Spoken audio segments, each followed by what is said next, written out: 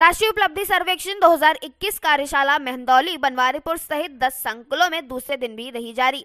नमस्कार, आप देख रहे हैं बीएनपी न्यूज़ और मैं हूँ आपके साथ स्मिता उपाध्याय सीआरसी मेहंदौली बनवारीपुर पालडी तेयाय आदि में बुधवार को संकुलन अधीन सभी प्राइमरी, मिडिल व हाई स्कूल के शिक्षकों की राष्ट्रीय उपलब्धि सर्वेक्षण 2021 के रिपोर्ट पर कार्यशाला के दूसरे दिन भी आयोजित की गई।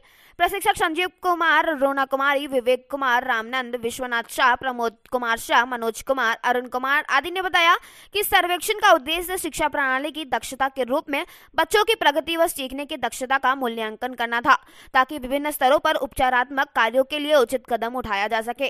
सर्वेक्षण में विभिन्न विषयों के में कमज़ोर बिंदुओं पर स्कूली व छात्रों के मापदंड की चर्चा की गई, जिसमें उपलब्धि व प्रवीणता का स्तर कम पाया गया।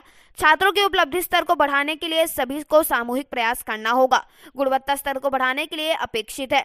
मौके पर प्रधानाध्यापक अशोक कुमार सिंह, पूनम अनिता, प्रियंका, सीमा, तनुप्रिया, बबिता, मंजू, ललिता, किरण, आभा, राजेश, रामजीवन, कविता, पूजा, अमित आदि मौजूद थे।